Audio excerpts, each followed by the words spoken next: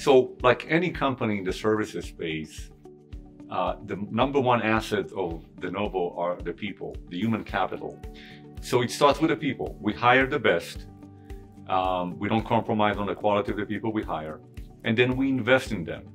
And the investment comprises of, of, of, a variety of things. It starts with making sure that uh, they understand what we expect from them in terms of performance. We use a systems of KPIs. We have over 100 KPIs divided into groups of five to eight per employee. Every quarter, we measure how well the employees performed against their uh, KPIs for the quarter. It gives them an opportunity to assess their performance, to determine what changes are required for the next quarter, and for us to be able to reward them for their performance. Second part uh, of how we manage our employees is the culture. Uh, culture is something that it's hard to define. The way we define it, it starts with communication, especially during COVID. We make sure that we are very, very heavy on in how we communicate to the employees, both ways.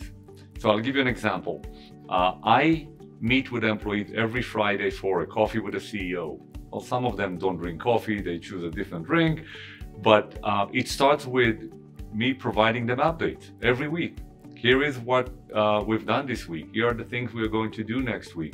Here are the accomplishments. Here are the things we need to do better. And then I encourage them to share with me um, uh, what are they concerned about? What ideas do they have? What things they think we can do better?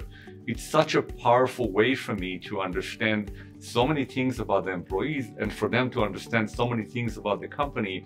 And that creates the loyalty, that creates the sense of um, commitment to the company that is really what I'd like the employees to feel and be part of a family. Feel like Denovo, where they spend sometimes more time than they do with their own family, is a family for them. It's a place that they feel comfortable, they enjoy the people, they enjoy the environment, and they really want to uh, to excel.